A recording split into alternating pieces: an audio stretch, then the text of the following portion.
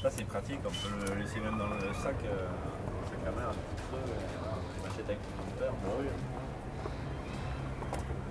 Ouais, C'est ça aussi. euh, Et, voilà, vous on- avez de la queue par exemple quand vous livrez deux, il y a beaucoup de. Non, nous on ferme de 13h à 16h. Hein, Vous mettez dans le pain basque, euh, Vous mettre dans le pain on ferme à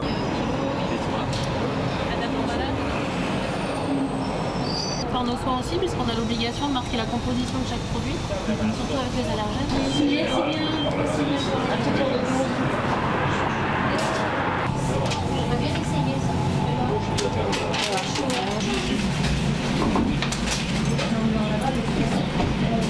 三桶生 hôm sau, gì đi.